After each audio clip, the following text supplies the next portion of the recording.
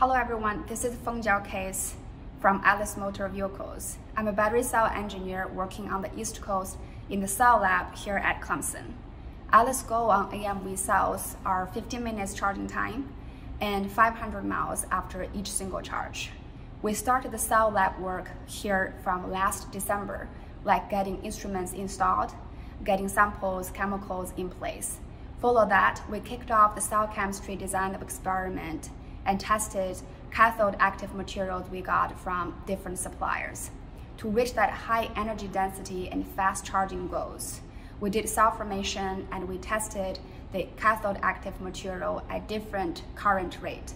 Currently, we're waiting for the performance after long cycling test.